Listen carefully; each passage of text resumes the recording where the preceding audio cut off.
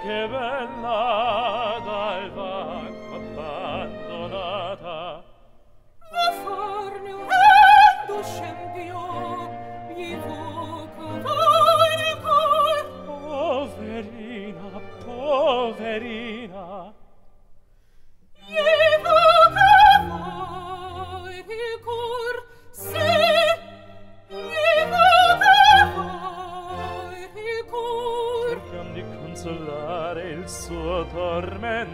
sine consolo miliotocento.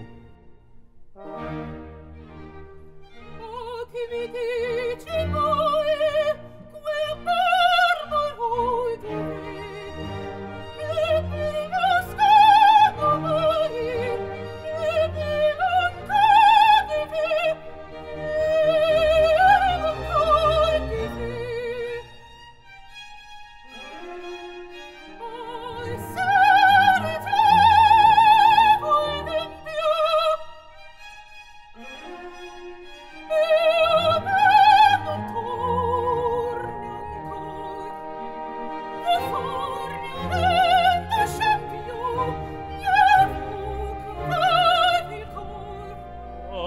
poverina, poverina.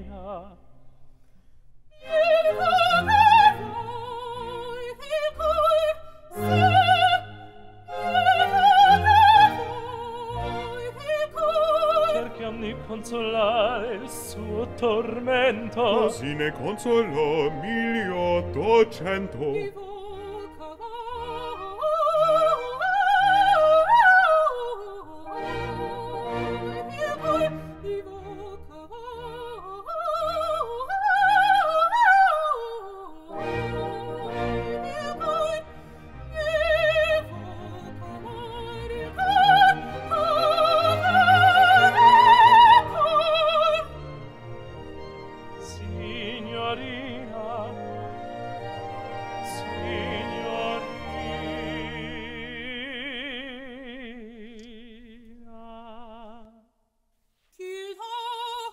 stelle che vedo. Oh bella donna Elvira. Don Giovanni, se poi mosso fellon, nove vent'anni. E titoli cruscanti, manco male che lo conosce bene.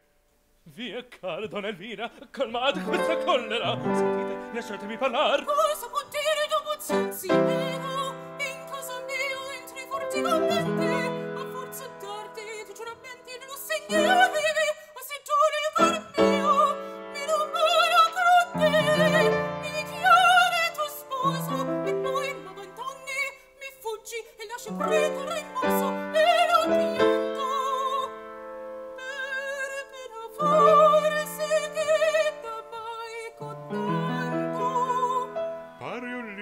stampato.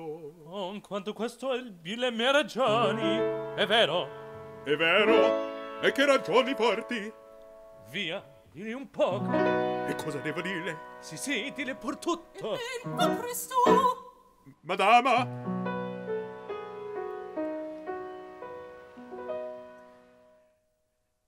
Veramente in questo mondo cosa cosa quando fosse che il quadro non è tondo. Sono così del mio dolore, ciò ti prendi a voi. stevi